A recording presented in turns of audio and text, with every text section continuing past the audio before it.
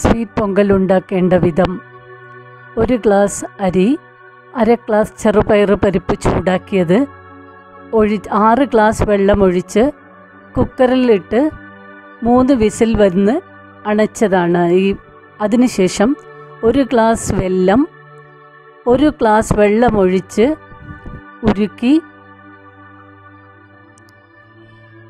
ഇതിൽ ഒഴിച്ച് മിക്സ് ചെയ്യുക.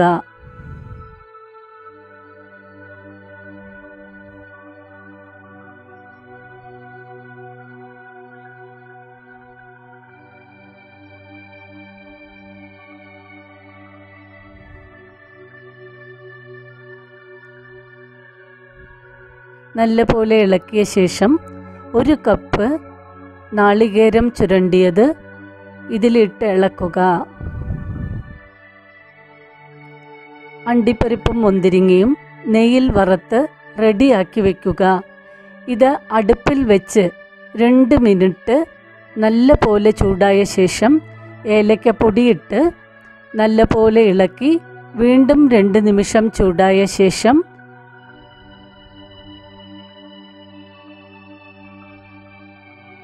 സ്വീറ്റ് പൊങ്കൽ റെഡിയായി. അതിനുശേഷം അതിനെ സർവ് ചെയ്യുന്ന ബൗളിലേക്ക് മാറ്റി ഡ്രൈ ഫ്രൂട്ട്സ് കൊണ്ട് ഡെക്കറേറ്റ് ചെയ്യാം.